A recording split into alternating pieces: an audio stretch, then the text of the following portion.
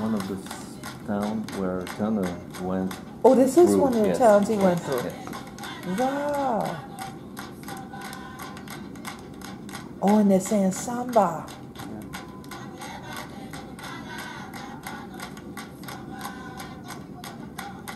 They say in Wow. Portuguese. What are they They say, saying? this, uh, the woman is uh, hitting the can Yeah, for, for us, everybody, for us, for us to, to dance. to To dance. dance samba. Oh, dance samba. Samba. Uh huh. Go ahead. She looks like my cousin-in-law, the lady that's singing right now. They're amazing. Yeah. Oh, I can't wait to get there. I'm, I'm, Mm-hmm. Oh, I'm gonna, I'm gonna be, I'm just gonna be. I, ain't no need of me bring my high heel shoes because I'm gonna dance the heel on. Go ahead, girl. There you go. Uh huh. And see, we always wear those little dresses like what they got on when we go to church. Especially if you were about to get baptized, you had dresses like that. Or Easter, you had dresses like those. hmm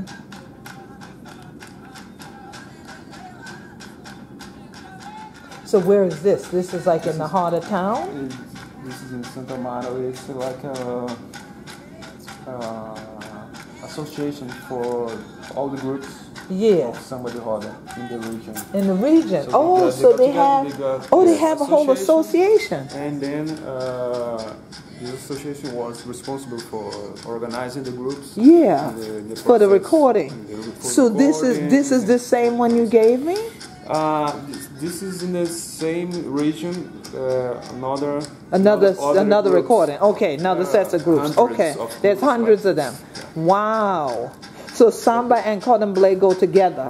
Yeah, samba de Roda. Uh, it's like a, a jam, musical jam. Got you, So genre. you Yeah. Have, you have uh, in different cities you have some specificities Okay. from each city, Yeah. but they are all from the same region. Wow. And they all they all got uh, this association to organize Yeah. uh, and the mediation with UNESCO because Okay. of the process. So they Beautiful. Powerful Yes, leaders the in the association. Yes, Wonderful. And so the women dominate this. Yeah, women. Yes. Uh-huh. Mostly women are. in the Wow. That is awesome. Very, very important Yeah, process. yeah, I'm trying to tell you. Everybody I'm looking at look like people here. This organization of the, the groups, Mm-hmm. then the, the title of UNESCO. The, They did that. was the organization. Was the organization, yeah. That is all. Okay, now I see a guy here too, and I Yeah, saw the guy just earlier dancing, but just a couple of them. You're like, yeah, yeah, they're just a couple of them flinging it. yeah. The women are the traditions keepers. Yeah. Awesome. Well, how Hannah children to do? Hannah daughter share the queen quite a thing like that, and Hannah know if Hannah deal with me, Hannah go, I know what is going on. Now, Hannah will watch this your program all the time and thing like that. Y'all ain't getting me crack petite with Xavier for now, any. Well, no, Xavier, take this another Xavier, yeah. How Hannah to do Xavier? Fine. Doing well? Yes. Yes, now y'all get it out, right? Y'all like, he was like, fine, he paused on me, right? Because he's used to speaking Portuguese, right? Yes, That's what French you know, and Portuguese. French, French and and Portuguese. Portuguese. Ah, okay, je parle français. Oui. Okay. so now, guess what? A lot of you probably yeah, we the crack we teeth like a this and thing like that and say, Oh, I wish I would know how for doing a thing like that. Or some of y'all go, Oh my gosh, she did it again. I didn't understand the word she said. But y'all know this is Gullah Geechee TV, so you gotta hear Gullah, right? well, some of you have tried to read it. Or you often ask me, Aren't you gonna write a book totally in Gullah? No, because y'all can't understand if I talk. You can't understand if you read it, right? But y'all have heard me talk about Dr. Lorenzo Dow Turner. Well, that's how Xavier and I connected. Xavier emailed me from Brazil. Yes. So many of you may have been to Bahia or want to go like me, all right? And you have heard about Bahia being a very African place. Well, Xavier, tell the audience how many Africans were brought into Bahia? Okay. Uh, Brazil, for about four centuries, received 9 million Nine Africans. million. which is about 15, 15 times more than the United States. of America. Wow. Wow. So uh, we now have about 75% of African descent people in Bahia. really. Uh, 6,000 Candomblé houses Mm. that uh, relate directly to their African ancestry. Yes. And so that's exactly the reason why Lorenzo Turner, Mhm. in 1940, Mhm. after, after doing 10 years of research here yes. uh, in the Sea Islands, went to Bahia Yes. because he knew that there, within the religious groups of Candomblé, Mhm. Afro-Brazilian religion, he could find African languages being spoken Right. and sung. Absolutely. And he did amazing work. Yes, uh, 329 recordings wow. on discs, and it remained untouched about 75 years. 75 And years. so we now yeah. finally edited and brought back to the Columbia communities these The recordings. recordings, yeah, Yes. like a couple of them that I have my hands on, and y'all know where these are going. In the Gullah Geechee Alkebulan archive. So see, these are not the kind of disc he's talking about. We're going to show you a picture in a little while of the disc we're talking about and how people recorded field recordings back in the 1930s and 40s. Yeah, but this is amazing for you to get from those field recordings mm-hmm. to these recordings. You said seven years it took for you to do this? Yeah, it's a lot of material, 329 or That's it. aluminum That is a lot. uh, Lorenzo Turner went from Nashville to New York, Yeah. took a boat from New York to Rio, Mhm. Rio to Bahia, Wow. uh, thousands of miles, Yes. and then he remained seven months recording the most uh, important, eminent priestesses and priests Mm. of African descent. Yeah. And uh, so that's the only proof we have today in the 21st century that Mhm. African languages were still spoken on a daily basis in, In the Bahia. 1940s in Bahia.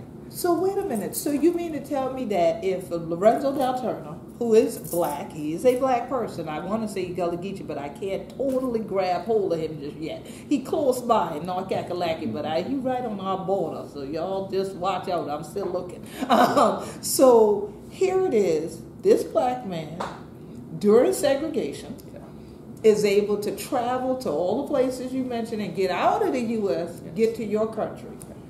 But his work he brought back here. So how is it that in your country they didn't keep any records or anything that showed these African languages? How is Yes. that? So Turner wanted to go back to Brazil. Right. He never was able because he was an African American scholar. Right. And by that time, in the 1940s, 1950s, it was extremely hard, Oh yeah. even Absolutely. maybe more than today, Yeah. to find fundings. Right. So it took him 10 years to go to Africa. And he Mm. went to Togo, to Nigeria, Mhm. to Cameroon. Mm. Uh, and these recordings also have never gone back to Africa. Right. And so he wanted to release, he wanted to publish discs on Mhm. Brazil on his recordings, but Mhm. he was never He able. wasn't he died in do uh, it. 1972. Right. So uh, what's amazing is that he has done a pioneering Mhm. work Absolutely. here in the Sea Islands on Gullah. Absolutely.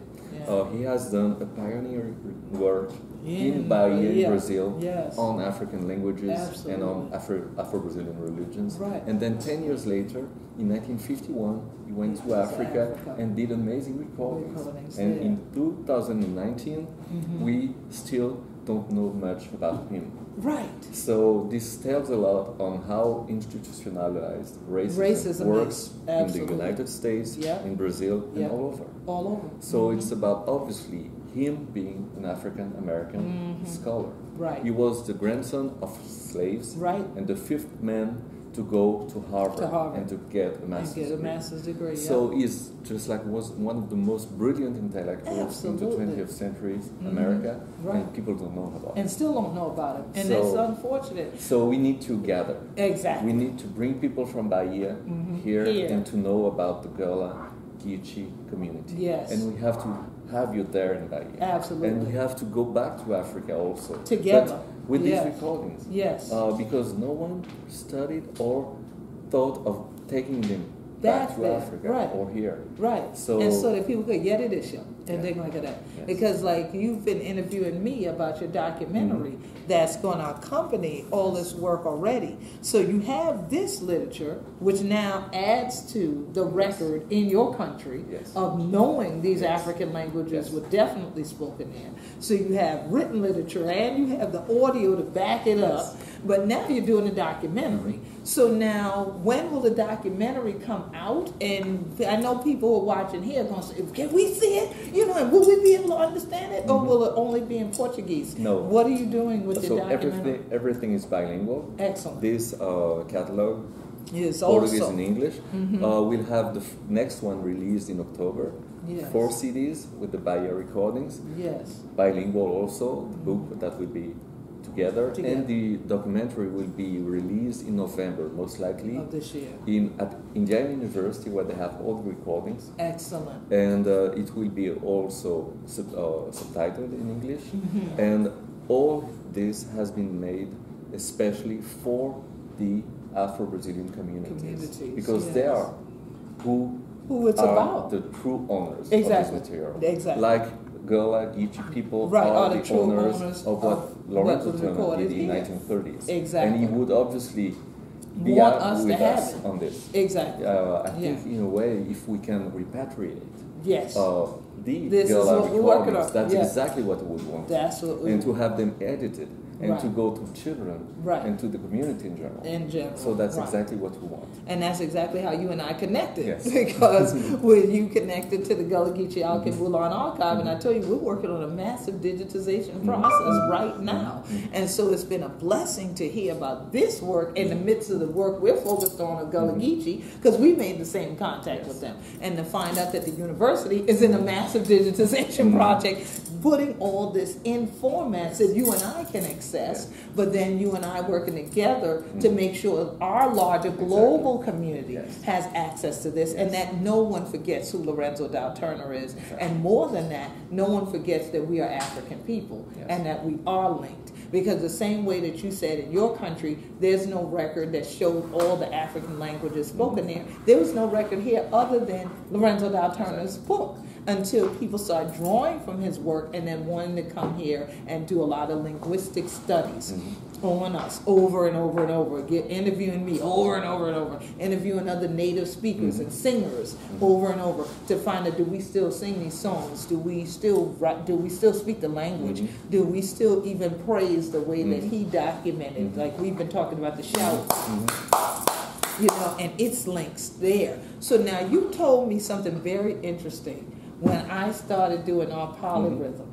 What is this called where you are in Bahia? So we have the exact same within the religion of Candomblé, Candomblé. and we have the exact same in the Samba de Roda, which is the root, uh, the deepest root of samba in Brazil, which is exactly from Bahia, Yes. from the uh, this region around the Bay of All Saints, Right. which we have about 85% of African descent people. And so this was the first uh, musical expression to be recognized as intangible heritage by UNESCO in 2005. Wow. And that's exactly the same The hand clapping. same class. Yes. Yes. That obviously comes from the Yeah, motherland. from the Africa. motherland, exactly. And what was so interesting as well is your team, we were all talking about this, that the reason that exists is for the same reason we have it. The drums were banned. Yes. But you were telling me that when I'm talking to you saying, well, 1740, here, you told me 1975. Did I hear you correctly that drums were still being banned in 1975?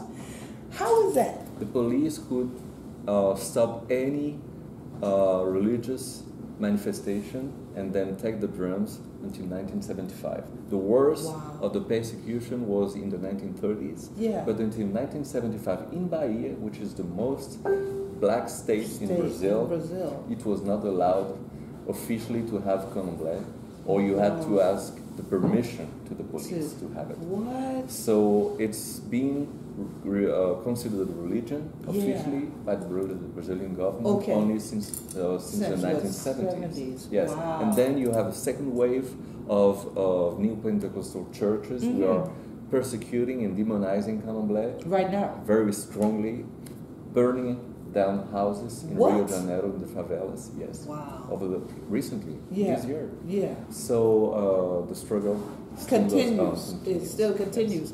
And so this subterfuge and this oppression is still continuing too. Yes. Because that means that if people are going to be oppressed, but your faith, you can't let your faith be in jeopardy. That means that we have also then an underground movement likely that's developing out of this as well. But then the oppressive part of it is that even in the media, nobody's talking about this. Everybody's distracted with all other kinds of nonsense that's going on. We've heard about, you know, political things mm-hmm. that are going in Brazil, but no one ever said to the point of religious persecution, to the point of trying to deny the Africanism that is there. And then you mentioned in the 1930s. Well, let's go back to that. Lorenzo Dow Turner was traveling around in the Exactly. 1930s, 40s, the 50s. So you mean he was there in the heart of it, and now we're Exactly. reliving this? Yes. Yes. Wow. Same. I would say worse because new Pentecostals uh, are backing the new president of Brazil, who is Oh, absolutely what's illegitimate, and they are demonizing on an a, on a daily basis Yeah. every African religion, Religion in, Brazil. in Brazil. So Candomblé is being attacked on an everyday Targeted basis. to the point where they're yes. burning down the houses. Yes. That is so and what is sick. beyond that is obviously a deep racism, Of course. which is the intent of Africanizing Right. Brazil. Brazil. And just like here. Africanity. Absolutely. out. It's just like in, in the U.S. Yes. with all the black churches that are being burned. You Mhm. know, in the 50s and the 60s, black churches were bombed Yes. and things. And people remember that, but then folks, you know, their memories start fading. So now what happens is there could be five black churches burned in the United States, but the media won't cover that. They'll rather talk about tweet somebody tweeting something instead of actually talk about this demonization Yes. that's happening, this de-Africanization that's happening, this racism that's happening, the things that cause people to be annihilated. That these are the things that lead to entire cultures of people being mm-hmm. wiped out. Mm-hmm. That this is cleansing. This is the process that happens. And people then, if you say, well, all this stuff is going on now, what are we going backwards in time?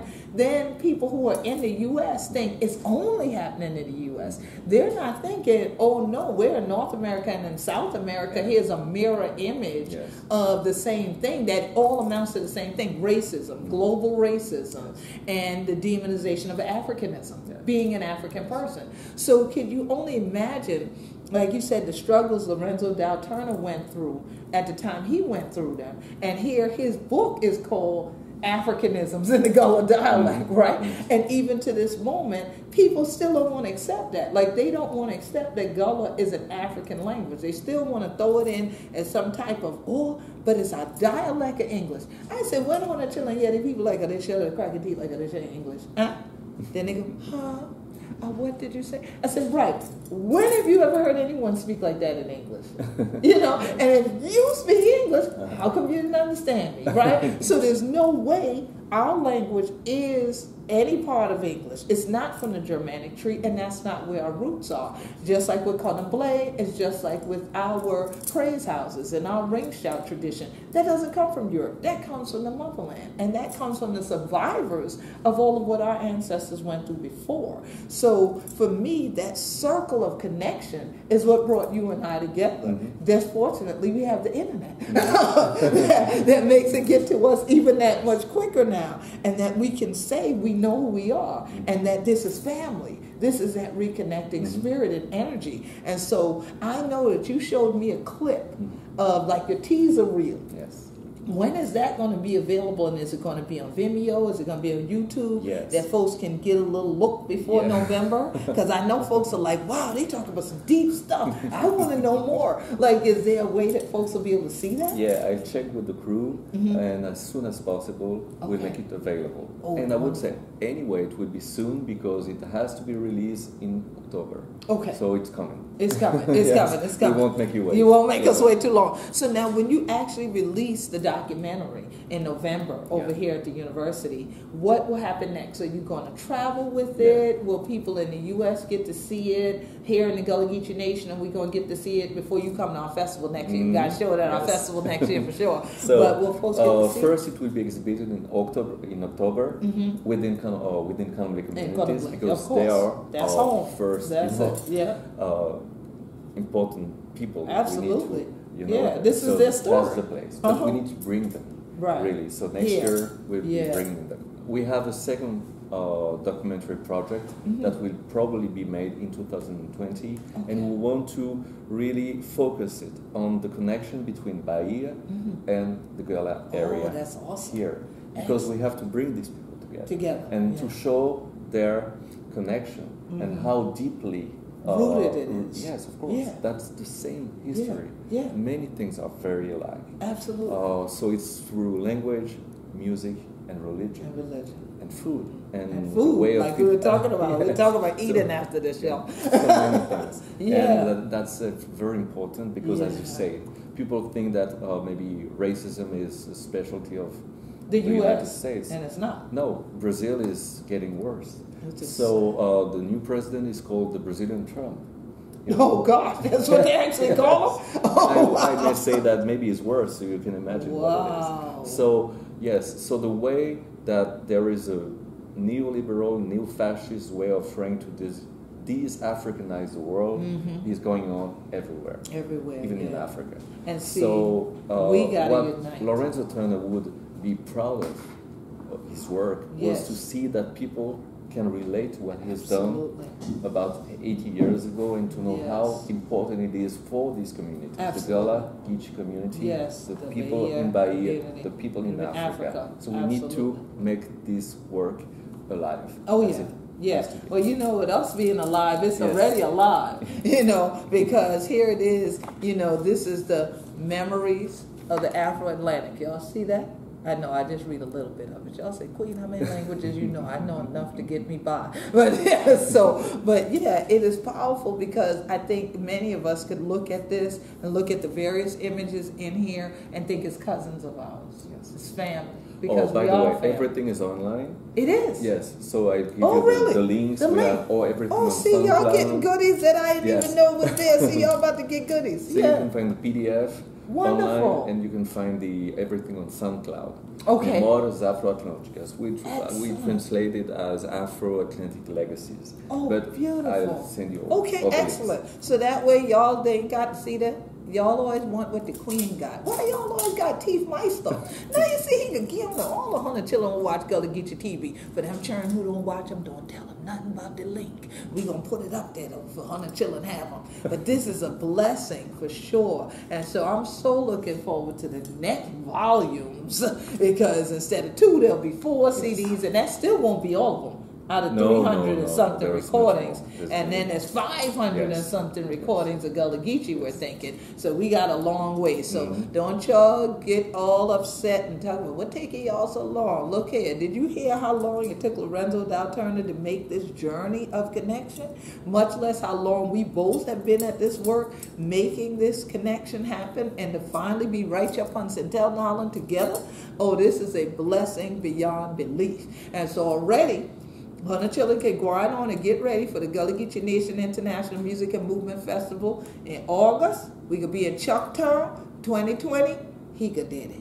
And some of we family from Bahia who I did it too. And so don't you let them beat you there, okay? You plan now so you can be there. And then you really get to really feel what we're feeling because you'll be there to live the connection because that's what it's about. And a lot of people, I know we both hear it, people are unnerved right now. Mm-hmm. They're they're shook by all of this de-Africanization that's happening. So all the more we as African people have to keep holding on to our African traditions and culture, and we have to recognize that we are the people who created civilization. We're the first people in the world. So I always tell people we going there. We will be the last too. Okay, it's not that anybody will ever be able to mm-hmm. eliminate us. We will always be here, and it's just the remnant of us who are holding on to the traditions and culture that we got to to stitch them all together and make that quilt that brings the family together and keep the warmth there. And so I am so happy. I got new cousins in here, Rachel,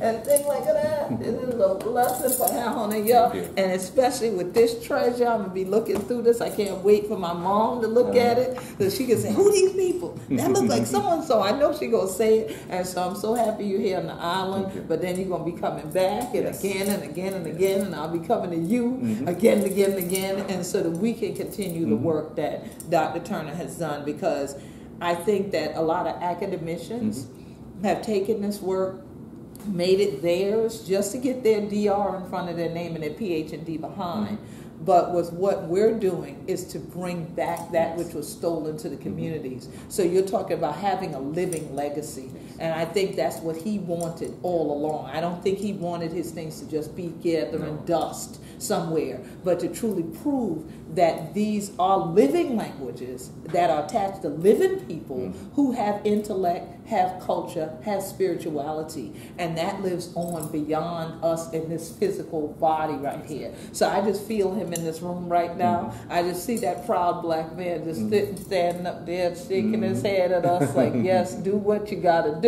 you know. So definitely, we're gonna get the funds. We're gonna come back to me. I'm coming to you, mm-hmm. and so that we can keep this connection alive because our children's children's children need to know what this is. Yeah. And it can't let them take these drums all go. So, honey, children, you know if you're there with me this year, the what going on. Peace and blessing, everybody. Keep shouting. Mm-hmm. Yes. Wonderful, wonderful.